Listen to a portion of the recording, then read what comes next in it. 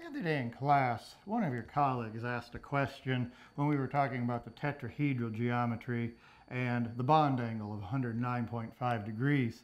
And basically the question was, what do you mean 109.5 degrees? Where does that come from? I found it kind of an annoying question, but you know, it's one of those where you just, you know, hmm, poo-pooed it and go on. But it actually really is a very good question. And I want to uh, essentially show you where that comes from. This is going to be one of these you know, truly supplementary videos in that uh, it's not uh, related directly to uh, anything that we're, you know, an end of chapter questions or in mastering chemistry. But it is a really good question. It's kind of an interesting uh, thing where it actually comes from. And it, it comes out of the observation that we began that geometry stuff by you know, essentially taking what the way we kind of approach it is you take a circle and you know if, when you do the linear geometry you're essentially taking that circle in half and the bond angle would be half of the 360 degrees of a circle, you know, the 180 degrees. And then we introduce the trigonal planar geometry, which is in a sense taking a circle and cutting up into three, where we get the 120 degree uh, uh, uh, uh, bond angle uh, for trigonal planar geometry. And then the next one was tetrahedral, ooh, four regions of electrons around the central atom. And your natural inclination is to say, okay, we got to divide it up into four. The bond angles will be 90 degrees. And in fact, when we first did it, and we had, I had the students, you know, on the floor uh, standing around me trying to make the geometry, that's exactly what we did. And that is, turns out to be incorrect. And so the part of the problem with you know, where that 109.5 degrees comes from is that it doesn't come from a circle, it comes from a three-dimensional object um, and, you know, almost more like a sphere. And so what we're going to do is take a look at, you know, kind of carefully where that, uh, where it comes from and how it works. And in order to do that, what I'm going to do is I'm going to set up on the board here um, a cube. As it turns out, the tetrahedron is often thought of as you know the shape you get when the outer atoms are occupying alternating corners of a cube. This graphic here does a pretty good job of trying to show that, where, the, where they kind of superimpose the tetrahedron and the, the cube uh, over it to kind of see how the outer atoms are in alternating corners of a cube. And so to do this, I really need a kind of a nicely drawn cube here. That's going to take me a few moments, so we'll, you know, we'll buzz through this really quickly and pick it up from there.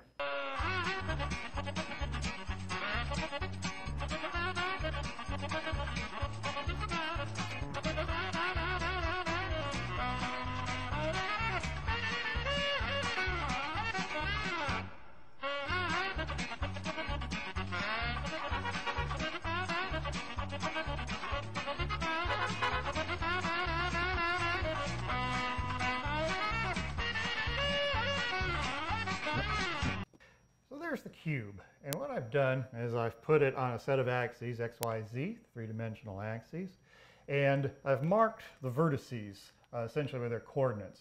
We're just going to say that each uh, side of the cube is one unit long, whether this is one cubic inch or one cubic foot, one cubic meter, doesn't matter. So I've marked all the coordinates, and then I want to mark off uh, a couple of the components of my tetrahedron.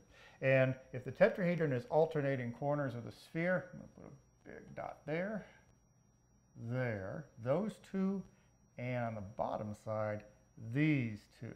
Those are the parts where the outer atoms of a tetrahedron are.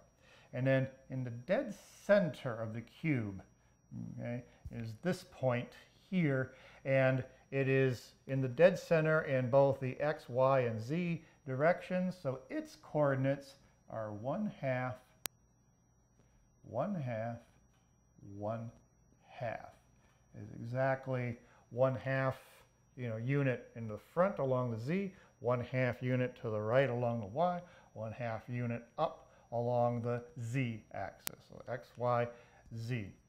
And I'm going to look at, for my tetrahedron, I'll draw this in by hand, this triangle. That's the interesting one for my purposes. That's the top part of the tetrahedron, and that is the angle. That's going to be, I'm calling it theta at the moment, that is the angle that's going to be the 109.5. Now, I'm going to need the dimensions of this triangle for a moment. We're going to work on that and pull it out and work on it over here. But there is one other thing I can tell you about that triangle. If this side is one unit long, this side is one unit wide, then Pythagorean theorem tells me that this, the hypotenuse of that triangle, is the square root of 2. So what I'm going to do is I'm going to pull that triangle out so I can work on it, kind of pull it out of this kind of three-dimensional drawing. So it's a little bit easier to work with. I'm going to go ahead and use the ruler again just to get myself some kind of pretty straight, or hopefully relatively pretty straight lines. That one.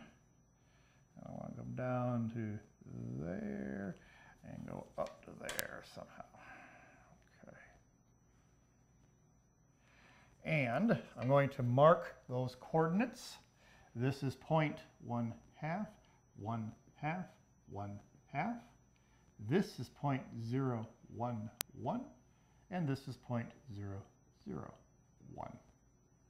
And that is theta. That's the angle I'm after.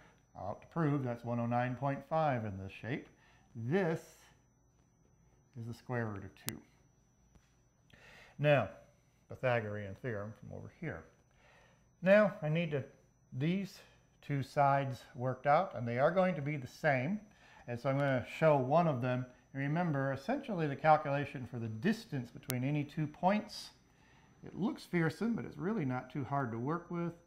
x1 minus x2 squared plus y1 minus y2 squared, keep in the same order, plus z1 minus z2 squared. And then yep. Square root of all that. That's the distance between any two points. Going ahead and plugging that in for a moment. Make my calculations here. I'll go choose this as my x1. That point is my x2.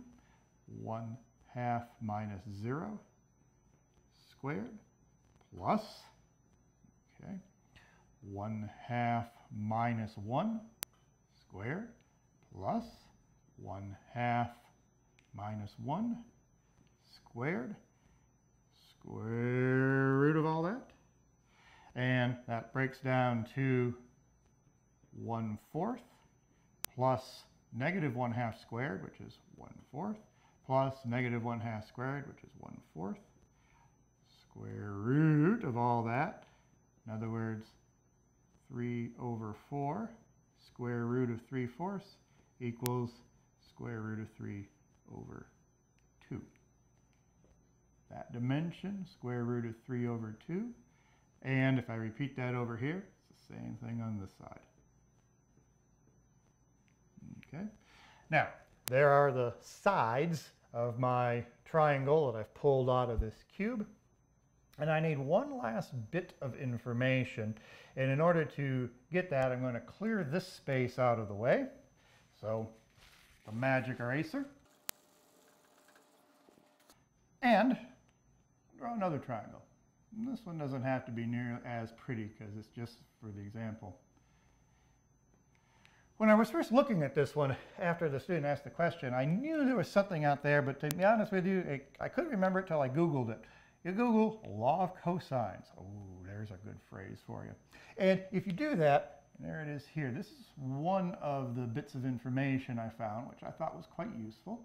They label the angles capital ABC in the corresponding sides, small case ABC.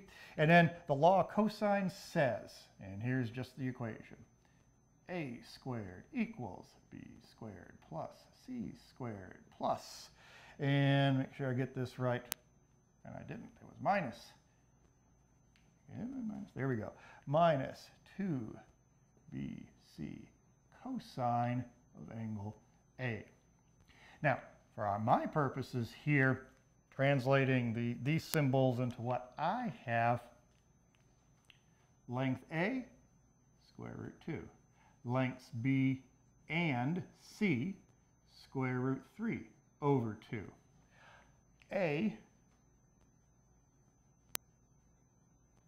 is theta in my uh, setup here. The other two angles don't matter. So what I'm going to do is just plug my information into the law of cosines equation. And so let's see, I've got for a square root of 2 squared, so plugging it in, that gets me a 2 equals, make sure I follow along here, square root of 3 over 2 squared, which is 3 over 4. That's square root of 3 over 2 squared plus square root of 3 over 2 squared, 3 over 4, minus 2 times square root of 3 over 2 times square root of 3 over 2, 2bc cosine theta. Theta is my only unknown. That's the one I'm after. So do a little bit of other rearranging in here for a moment. 6 fourths minus, and then this one here, multiply that, that's going to be 3 over 4, and then with the 3 over 4, 2 cancel 3 halves, cosine theta, and then move the 6 fourths to the other side. That's going to give me, I'm almost out of room down here, so let me squeeze it in over here. Move the 6 fourths to the other side. It's going to give me 1 half equals negative 3 halves cosine theta. Get the 3 halves, the negative 3 halves to the other side. That's going to become negative 2 thirds times 1 half equals cosine theta. And therefore cosine theta equals, and you work that out, negative 1 third. Okay? Thus, theta is the inverse cosine of, whoops, negative one third. And it's one of the most gratifying moments in thinking about this stuff when you punch that out on your calculator, you put in negative one third or negative 0.3333 and hit your inverse cosine button, and what should pop out in the calculator but 109.47 something, something, something degrees. 109.5 degrees. I saw that and must admit I wept a little bit when I saw it. It could just fall out of there. So there it is. Why 109.5? It's not an obvious number like 90 degrees or 120 or 180.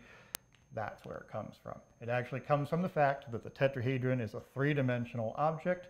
Uh, you're dividing up uh, you know, an object that's three-dimensional, and you can see it's a little bit more involved than it is when you're just carving up a circle. But it's not a bad problem in analytic geometry, and there's where the number comes from.